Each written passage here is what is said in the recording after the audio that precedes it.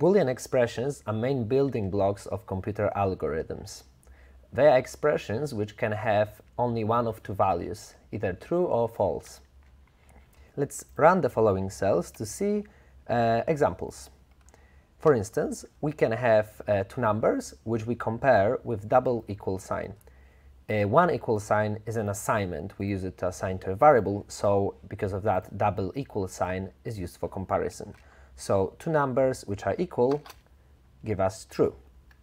Now we have two comparisons of numbers. Here we have one number greater than another. Here we check if numbers are greater or equal than. And we have logical conjunction, which is OR. So if any of those two uh, expressions is true, then the whole expression will be true. And in this case, of course, it is true as well.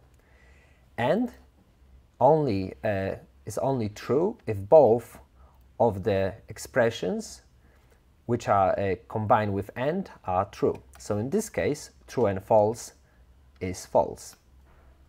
Let's see the next one. We have true, which is again is an expression. The value of an expression giving true can be also an expression. So we compare true and two strings which are exactly the same. So this seems to be true, and true is true. Oh, works. And now when we compare two strings which are different with equal sign, that will give us false. And this sign means that those two things are unequal.